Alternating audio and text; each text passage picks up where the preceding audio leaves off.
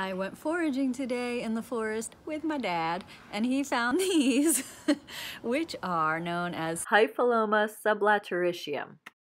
And I found out that you can try to eat this. I don't recommend any edibility, but I have eaten them and they are delicious.